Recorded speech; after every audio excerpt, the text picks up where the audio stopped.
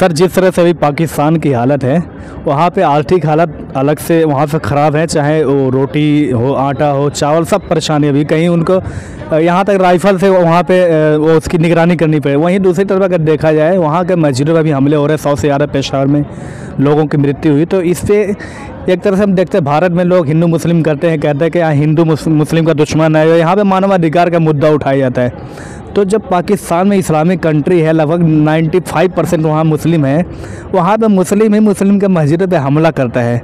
तो इसको लेके क्या, किस तरह से आप इसको देखते हैं? मस्जिद, उनके लिए ना मस्जिद सिर्फ़ बहाना है। वह कुछ नहीं है। वह भी जिसका मस्जिद तोड़े हैं, अहमदिया, उसको वो अल्पसंख्यक मानते हैं। वो सिर्फ़ सुन्नी। इतना कट्टरवाद। एक बात बताइए, बर्बाद होगा क्यों नहीं? जहाँ एक सैंतालीस शादियों में गिफ्ट दिया जाएगा। उस देश का क्या होगा? कापी कलम दिए हैं क्या? किसी बच्चे को प्रोत्साहित किए हैं क्या? इतने बड़े बड़े बट्टे, बच्चे ए के सैंतालीस, युद्ध है, युद्ध करना है क्या भाई? तो ए के सैंतालीस खाओ। जब तुम घर घर ए के सैंतालीस बांट रहे हो रिएक्शन में कि भारत आ जाएगा। नहीं जाएगा भारत भाई। नहीं ज़रूरत है। नहीं ज़रूरत है। हम बड़ी बड़ी कंपनियों के मालिक बनेंगे। सीओज बनेंगे, दुनिया को मुट्ठी में लेंगे। आज ब्रिटेन के राष्ट्रपति हैं, कल अमेरिका के राष्ट्र प्रधानमंत्री हैं, कल ब्रिटेन अमेरिका के राष्ट्रपति बनेंगे। ज्ञान के बल पे, विवेक के बल पे, एक सैंतालीस से नहीं हो सकता। वो जमाना लद गया, परमाणु बम खाओ। भेज दिया ना, तुम्हारा बहुत दोस्त था, याद है? चीनियों का जो अंडरबियर होता है ना, उसी का मास्क बना के भेज दिया। वो पहनो, उससे अल्लाह खुश हो जाएगा। लोगों के और चीनियों के चड्डी का वो मास्क पहनो। शर्म तो आती नहीं है। एक ही साथ आज़ाद हुए थे। कहाँ है अल्लाह? पूछो। कि एक तरफ़ मुसलमान है एक तरफ़ काफिर है। पूछो अपने अल्लाह से। क्रिकेट में भी घुसा देते हैं अल्लाह को। इस्लाम बहुत ताकतवर है अल्लाह बहुत ताकतवर है। कहाँ है भाई?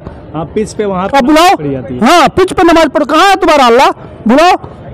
कम से कम आटा तो पहुँचा दे। और नहीं तो देखो इस्लामिक देशों को भारत आज तुर्की में राशन दे रहा था तो मुसलमानों के लिए ये खड़ा हो गया। जो जो यूनाइटेड नेशन में इनके लिए समर्थन करता है ये गद्दार है। ये मुसलमान नहीं गद्दार है गद्दार। ये किसी का नहीं है। क्या बात कर रहे हैं? क्यों नहीं मस्जिद तोड़ेंगे? अफ़गानिस्तान में मुसलमान है उनका उनके लिए राशन भेज रहे थे उनको रोक दिए।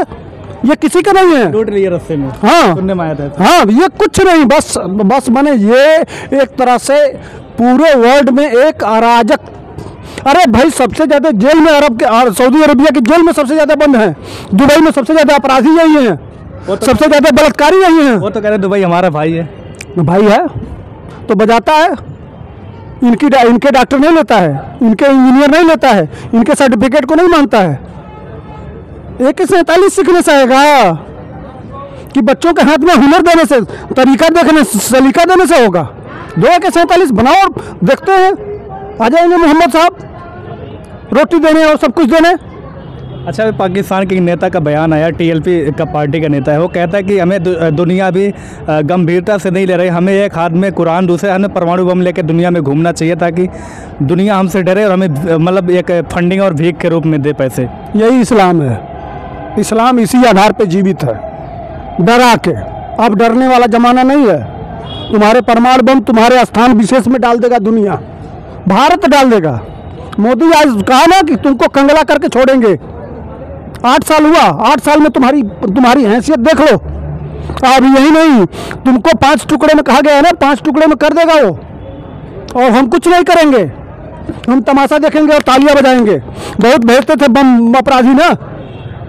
अब भोज भोज लो, खाना खाओ। आओ इंडिया को, दुनिया को डरा देंगे, इस्लाम कायम कर देंगे, कुछ भी कर देंगे। जमाना लग गया।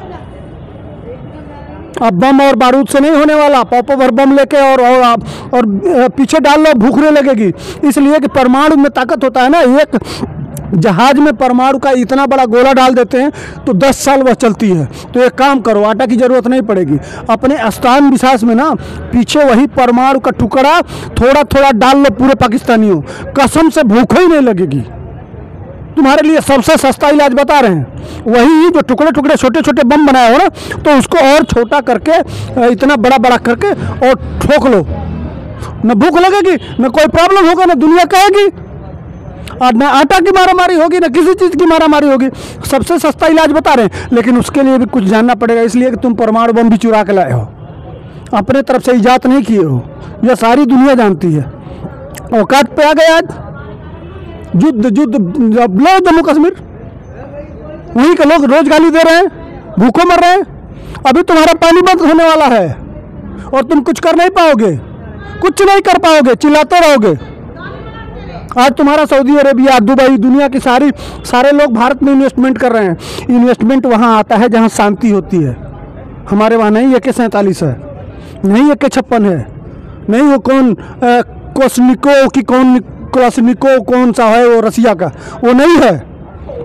हम अपने बच्चों के हाथों में किताब देते हैं। देखते हैं कि हमारा बच्चा इंजीनियर बनने लायक है डॉक्टर बनने लायक है क्या बनने लायक है। उस हिसाब से उसके अंदर तरक्की देते हैं उस तरह से स्कूल में भेजते हैं उसको आगे ले जाते हैं। तो अब दुनिया के सबसे बड़े सीईओज हैं। हम कंपनी का हाँ तुम्हारे पास भी है। बड़े बड़े आतंकवादी जैसे मोहम्मद तो फला फला। हाफिज सईद। हाँ फिर हाँ वो बड़े बड़े भाई दुनिया के सबसे बड़े वहीं मिलता है वो हाँ ओसामा बिन लादेन। और पालो। दाऊद इब्राहिम। खूब पालो। अब अब जब आम बबूल का पेड़ लगाओगे तो उसमें आम मिलेगा। भारत में कर रहे तो बहुत अच्छा था। अब तुम्हारे ऊपर हो रहा है तो बहुत बुरा है। भाई देखो गुड टेररिज्म बैड टेररिज्म नहीं होता है। टेररिज्म इज़ टेररिज्म और घर में सांप पालोगे तो सांप एक दिन जब उसको भूख लगेगा तो काटेगा तुमको। और तुम लोग ये जो इस अल्लाह का नेरेटिव है ना, अल्लाह का नेरेटिव यह अल्लाह का नेरेटिव दुनिया में जो फैलाने की कोशिश कर रहे हो, यही एक दिन पूरे इस्लाम जगत को ले डूबेगा। यह मज़ाक नहीं कर रहा हूँ? यह जिस तरह से धीरे धीरे धीरे गुब्बारा फूट रहा है ना, पूरा यूरोप में, यह जिस दिन फूटेगा, उस दिन इस्लाम